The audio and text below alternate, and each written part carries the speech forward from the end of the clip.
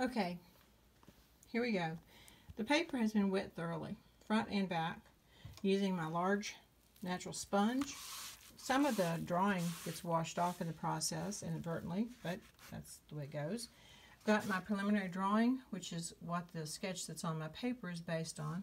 Got my palette with my pigments out. I, I put some fresh ultramarine, cerulean, and some New Gamboge and some Aureolin here. That's cerulean. That's Aureolin.